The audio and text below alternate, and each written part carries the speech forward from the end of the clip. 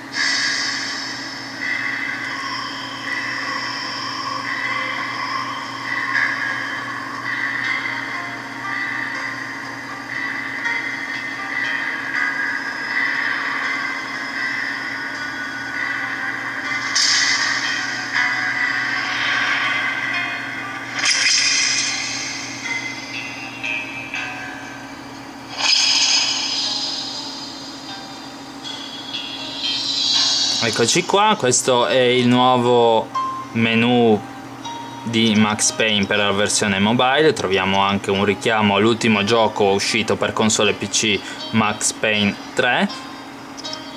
Se eh, andiamo a memoria vi ricorderete che il menu eh, vecchio era più o meno uguale, troviamo in più i link ai social network, al Rockstar Club, Social Club scusate, eh, e in più un comodo tutorial che adesso vi andrò ad illustrare che praticamente ci descrive tutto il gameplay del gioco. Infatti in questa videoprova non potremo eh, mostrarvi interamente il gioco un gioco piuttosto lungo ci vorranno dalle 6 alle 7 ore andando abbastanza filati per finirlo. Inoltre se si vogliono mm, se si vuole affrontare il gioco a un livello di sfida più alto eh, con i controlli touch la, eh, la durata del gioco può anche raddoppiare. Tutorial.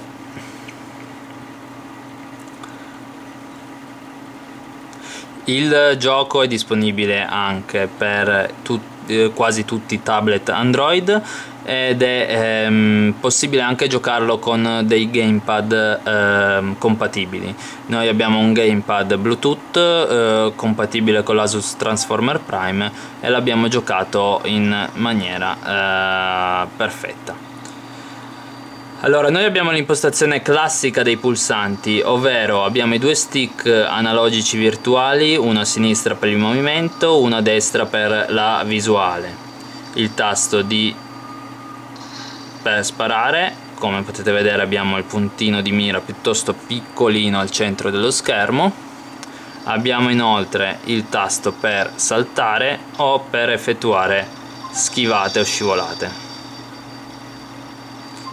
in alto a sinistra abbiamo eh, l'icona del nostro omino che se ehm, vedremo mh, mm, diminuire in colorazione di questa tinta verdina eh, vorrà dire che stiamo perdendo vita.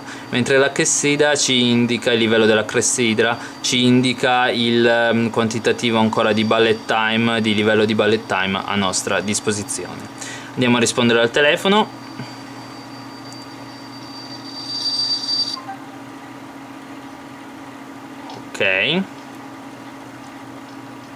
andiamo avanti nel nostro tutorial. Come potete vedere eh, la fluidità del gioco è estrema. Io l'ho finito da poco a livello normale il primo livello sbloccabile del gioco e non ho riscontrato neanche un impuntamento neanche nelle eh, scene più concitate. Rispetto a GTA 3 sempre di Rockstar il lavoro è stato svolto in maniera eh, migliore forse anche dovuto ad un ad un um, quantità di nemici e di azione a schermo di sicuro inferiore.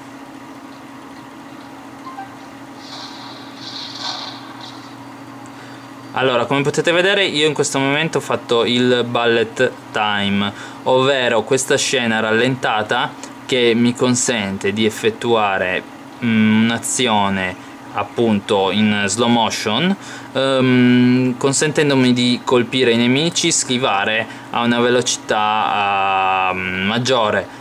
Per esempio mi butto a sinistra metto il bullet time posso mirare tranquillamente e sparare. Andiamo avanti. Per cambiare arma eh, in alto a destra come in quasi tutti i giochi per android basta scorrere il dito sul nome dell'arma per cambiarla. Le munizioni non sono infinite come neanche i medikit. La vita non si rigenera come era nei giochi prima del 2004 praticamente prima della mm, forse ancora prima quando è nato il primo Halo. Uh, adesso in questo gioco praticamente voi dovrete curarvi con dei medikit con delle pastiglie medicinali uh, per ripristinare la vita. Altrimenti andrete in game over. Possiamo usare il bullet time anche da fermo per rallentare l'azione e guardarci anche solo intorno facendo attenzione a non usarne troppo perché comunque è limitato. Questo si caricherà uccidendo e colpendo i nemici. Proviamo a superare questo ostacolo. Tutorial che è un'aggiunta rispetto all'altra versione. C'era un piccolo tutorial ma era limitato. Per il salvataggio rapido ottima aggiunta in questo titolo ci basterà schiacciare velocemente i tre pulsanti di sistema del Galaxy Nexus e, eh, salveremo la partita. Nel caso di schermata di game over se eh, cliccheremo su questo pulsante si caricherà l'ultimo eh, salvataggio registrato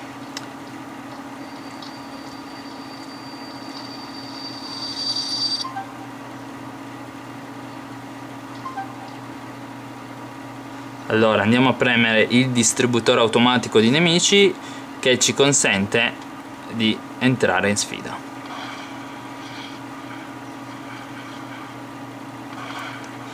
Con questa difficoltà e con queste impostazioni noi abbiamo anche impostato di base un agganciamento automatico del nemico con i controlli touch comunque senza questo agganciamento automatico faremo molta fatica. Come potete vedere in alcune situazioni si presenta anche una specie di ehm, scena eh, cinematografica che ci ehm, permette di sottolineare eh, la dipartita di un nemico.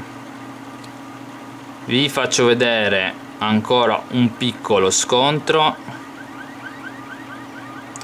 Max Payne è anche famoso, stato famoso